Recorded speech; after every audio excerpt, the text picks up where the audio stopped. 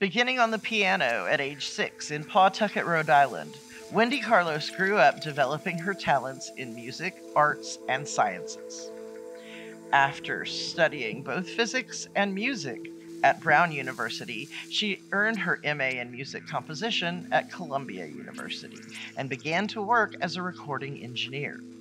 Around this time, she became friends with Robert Moog, and the world of music would never be the same again. In 1968, her recording Switched on Bach redefined the sound of classical music as it was heard by the world anew on the Moog synthesizer. It went triple platinum and won three Grammys. Over time, she expanded her recordings to include the creation of such iconic movie soundtracks as A Clockwork Orange, The Shining, and Tron. Her catalog of music is only surpassed by her collection of awards. Today, our panel will be discussing her work and her influence as an inspiration to so many people in electronic music today. We have modular synth performances for you that are inspired by her tones and motifs. And the visuals for today's show were animated using keyframes converted from her music. Today's performances are created by the artists Yates Zaldevour and Burn the Church, and Wavpix Labs visuals are created by Elli Maven.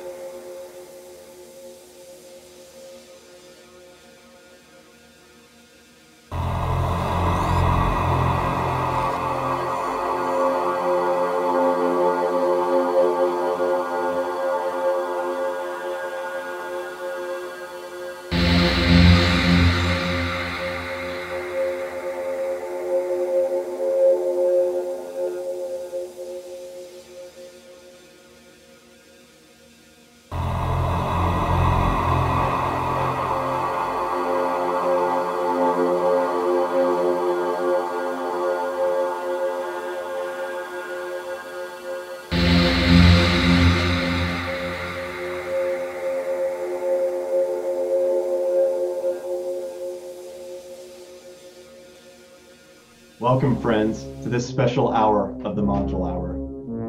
Uh, we have with us tonight Yates uh. Did I pronounce that correctly? Nope. Great try, though, man. Uh, it's Zaldevour. Wow, that's beautiful. That's French, right? a little more east. Okay, okay. Well, It's actually like a squishing of two names. Beautiful. Okay, okay. Oh, Ali is on as well. Awesome. Excellent. Welcome, Ali, to this special Yes, hour of the ModulHour. So, uh, can you guys hear me? Yeah. Yeah, you sound great. All right, cool. Oh, hey, y'all. Can you hear me? Okay, good. Um, we here at Wavpix Labs, we're we're all about the art and the artist. So tonight we have with us, uh, each of us are artists, but we're focusing on an artist who is groundbreaking and came before us. This is Wendy Carlos, okay? Um, synthesizer pioneer, um, and really just groundbreaking uh, in the arts. So uh, I first got into Wendy Carlos, uh, like many people. I didn't even know who she was. Uh, I was born, you know, uh, the 80s. So uh, she was producing work back in in 60s, in the 60s. So uh, I'd heard her her through uh, Clockwork Orange was really the first um, I had heard of her. Um, well, aside from my father trying to get me to listen to Switched on Bach when I was a kid, and uh, I was like, oh, classic music, that's not hip.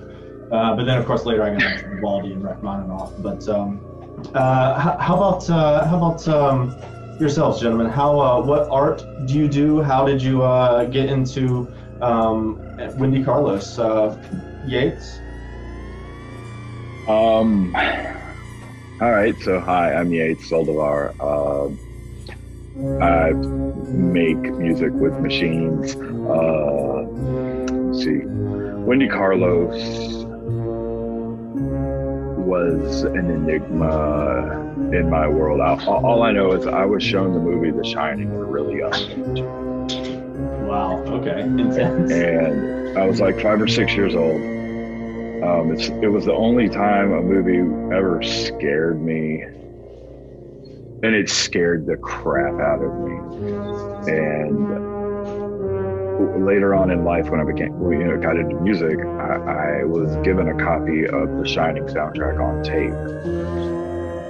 So I really didn't know. I didn't even know that there were synthesizers on it. I just would listen to it and, and, and didn't associate it with the synthesizers I would hear on other other music.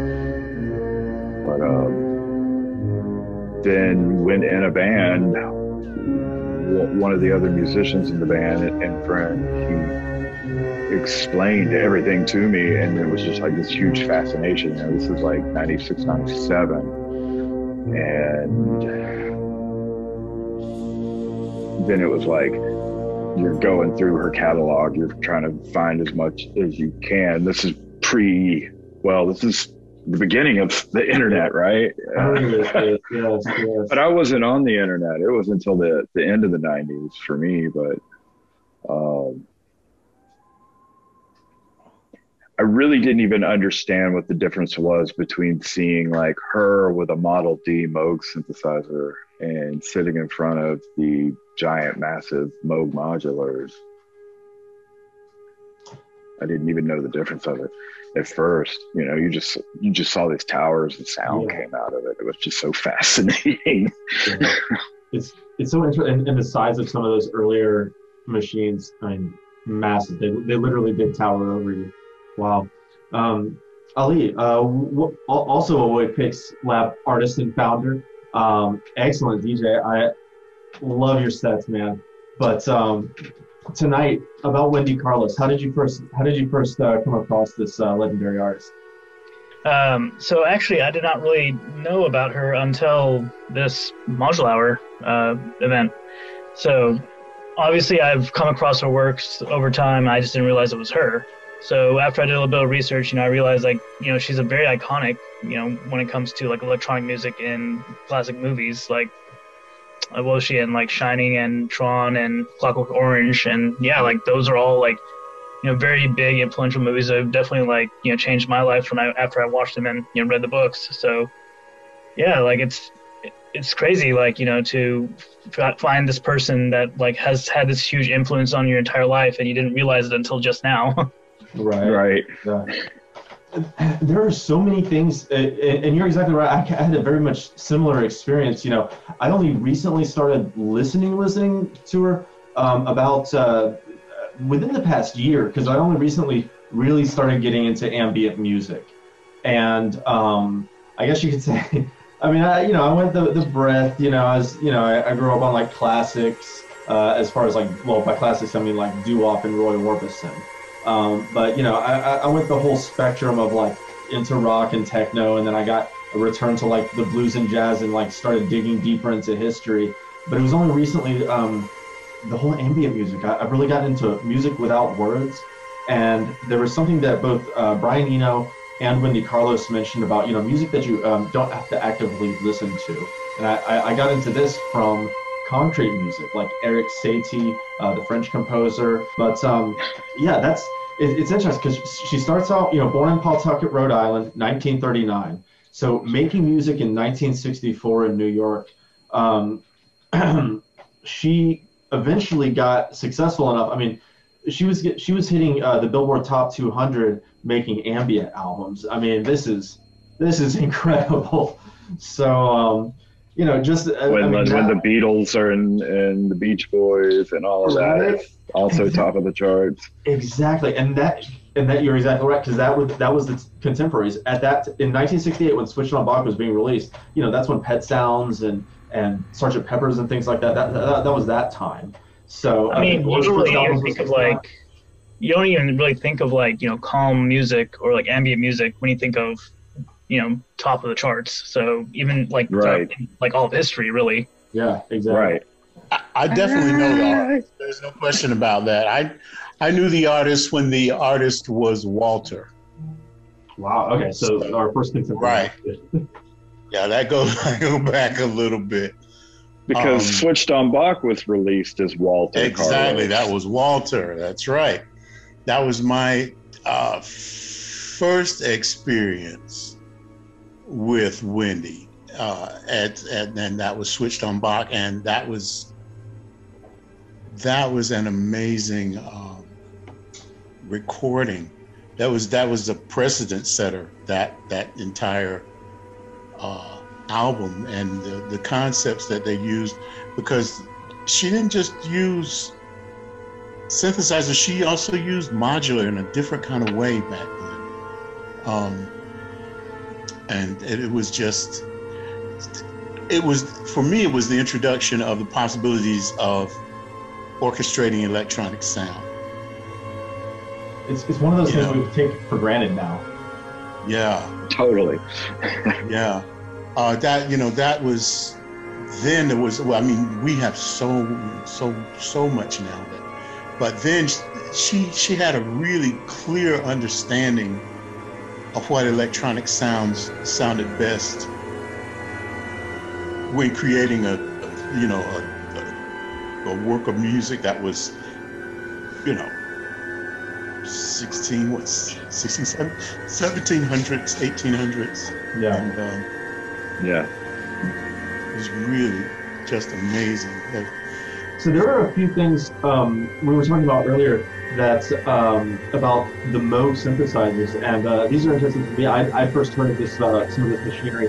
You know, being a bass player, I'd always wanted a Moog Taurus, um, which is a foot-operated synthesizer pedal, because I mean, you can. It's like a double bass. You can like shred. I mean, nonetheless.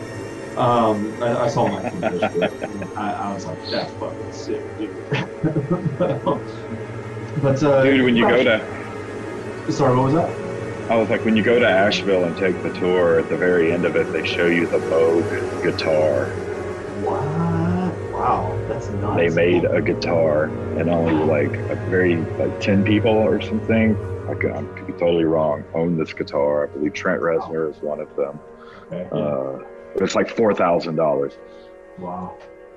But it's So, great. so you actually use Moogs in your work, though, and this really Yes, sir. interests me. What um, what specifically, you know, Wendy Carlos as well used Moogs, and uh, actually, uh, it turns out she she requested being paid uh, for her second album um, with some of some of this gear eventually. So that must have been a pretty sweet deal. But um, a, a laborious and intensive process, even just setting up the instruments, as you said earlier, were, were towering over you. But this this album was recorded this this uh, top 200 ambient album that ended up winning three Grammys, recorded on Moog synthesizers, one note at a time. So you, Yep. you've actually used these. Is, is that still how they do it today? Is it still one note at a time?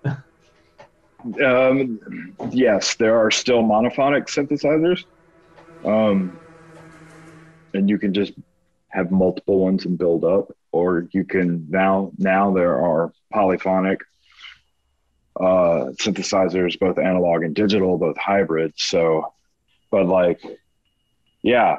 Uh, in an interview I had seen with them, she was talking about how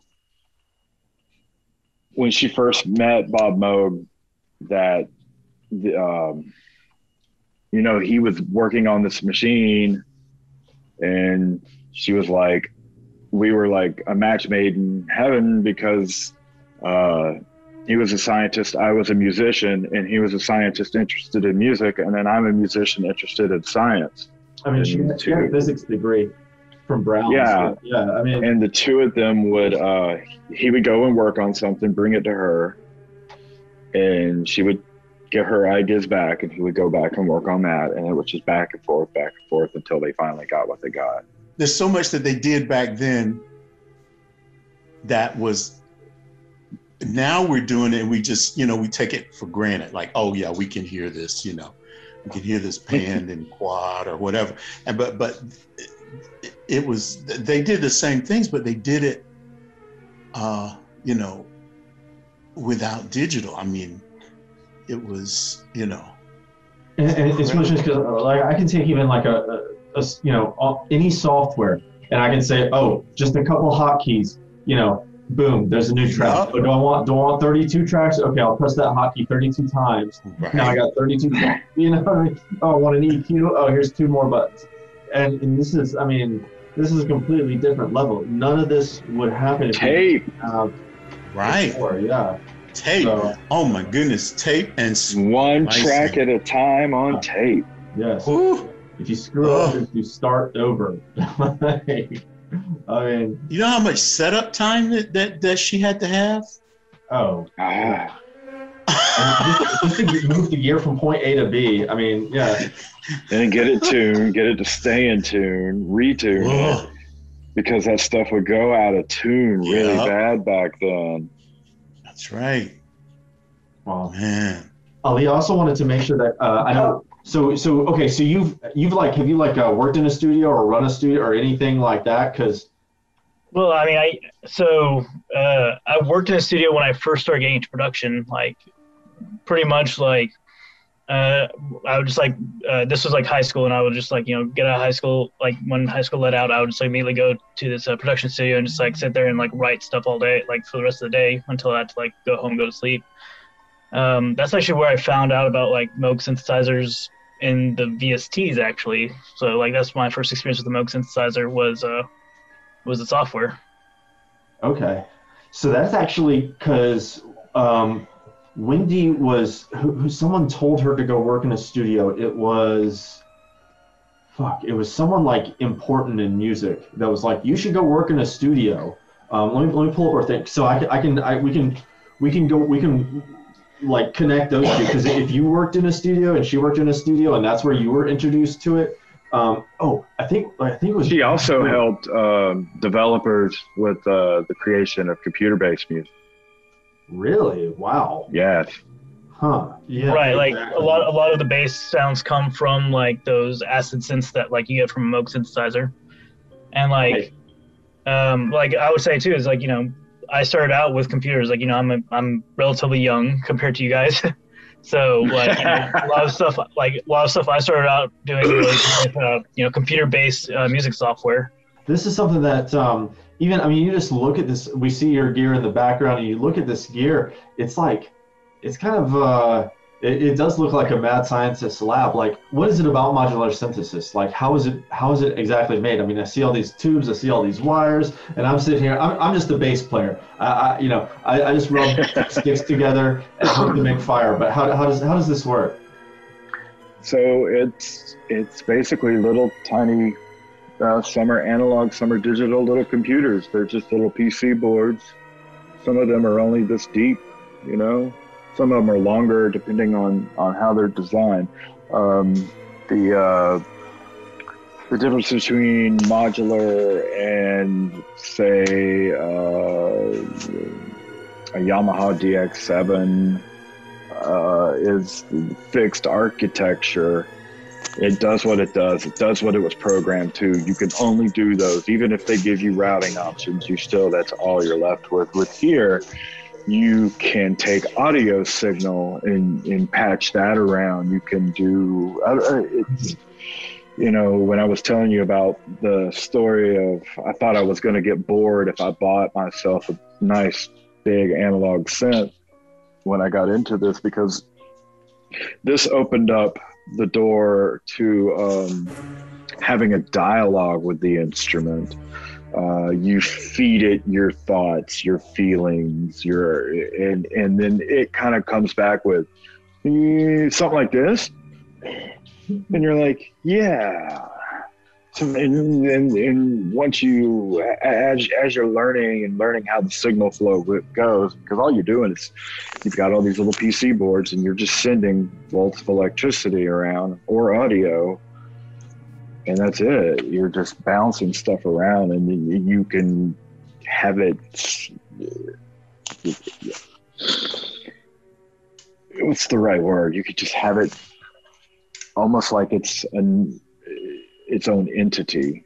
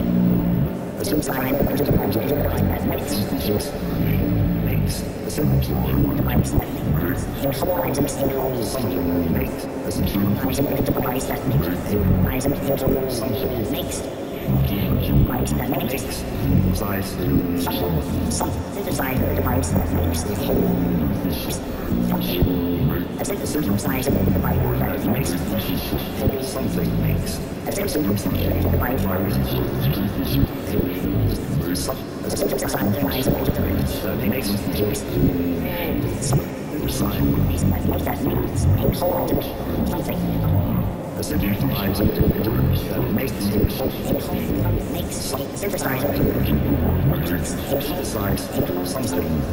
Assume size and the departments of these. Whole makes synthesized synthesized makes forms, some forms. The synthesized lives into the body that make makes the whole size forms six. The synthesized that makes makes the whole forms six. The synthesized the body that makes the whole size three. Is it the body that makes the size three? Makes some lives into the body that makes makes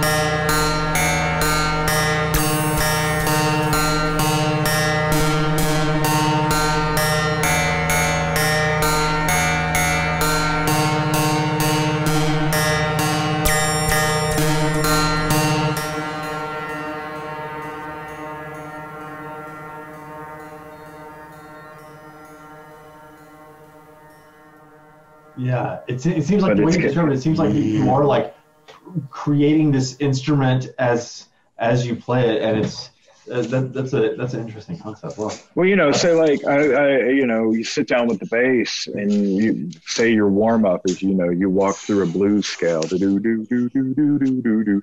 You the one I know, by the way.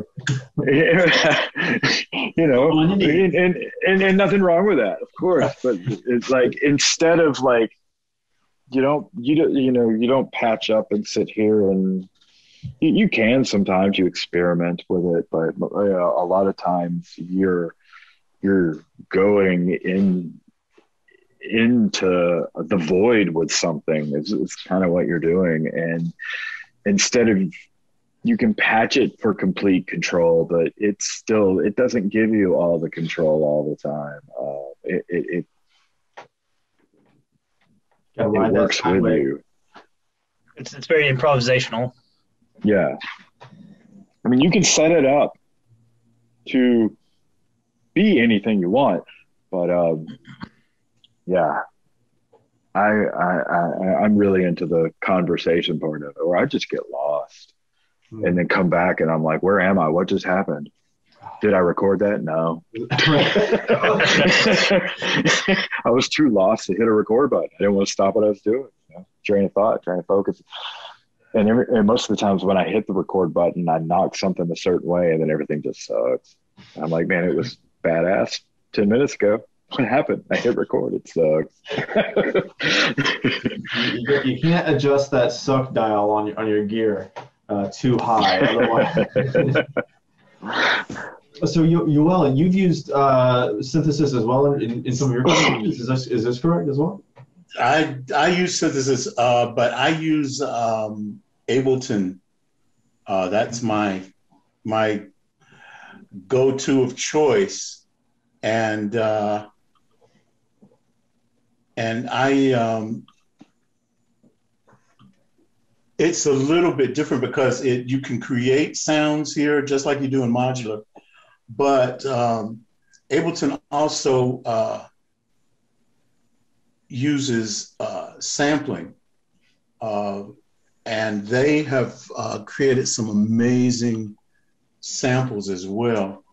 Um, they just uh, they just came out with uh, eleven, and eleven has had they in eleven they uh, teamed up with Spitfire Audio, uh, and uh, they got some amazing amazing uh, sampled sounds of pianos and violins and horns and things that they didn't have before, which you could actually create before.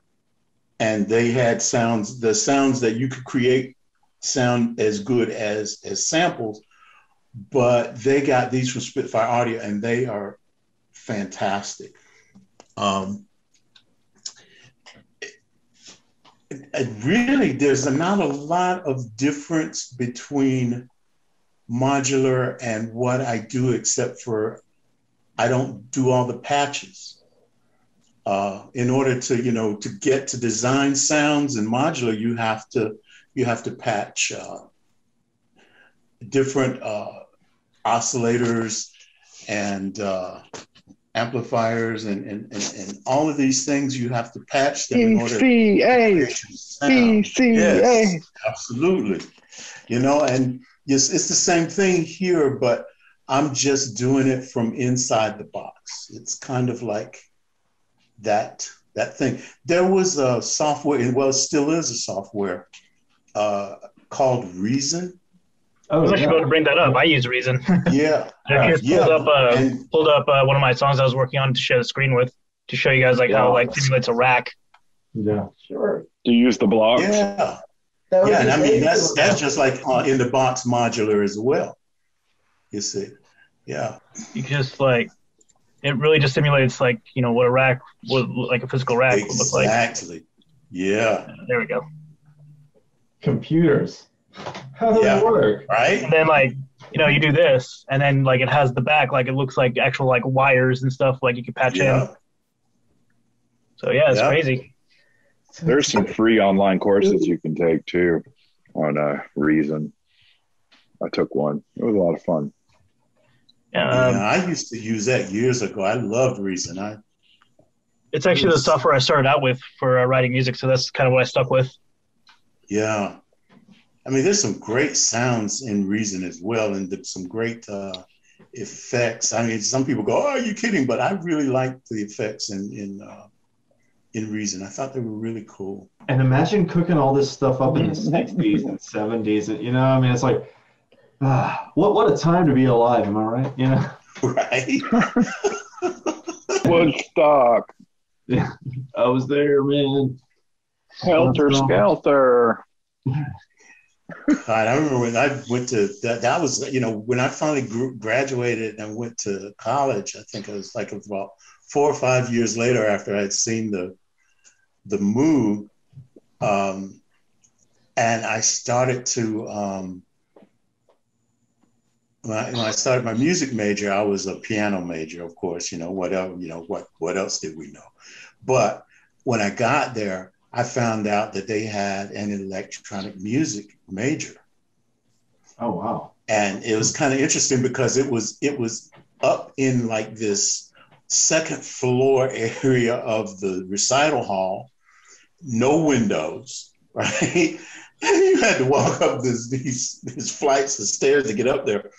And once you got in there, they had that was they had the uh, they had a modular system, they had a theremin, Where was uh, this? they- this was at East Carolina University.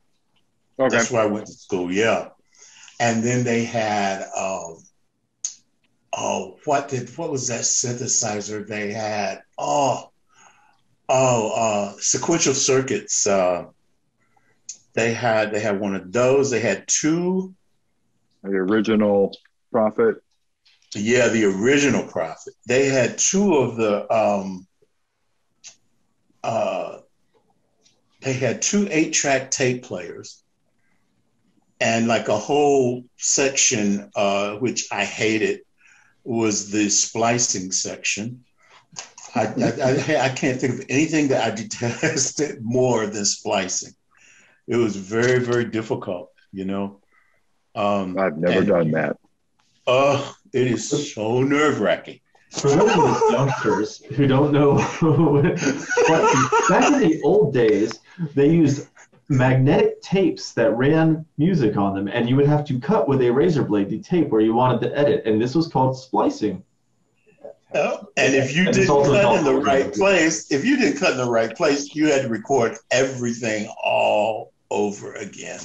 I, I think, And that was the practice up until the mid 90s. yeah, Yeah. taking a knife to your work. That's kind of a mm, uh, gut wrenching. I don't think I would have made it as a musician back then. Yeah, you got the nerves of steel. the reflexes of a surgeon. so, Oh, that was crazy. Oh.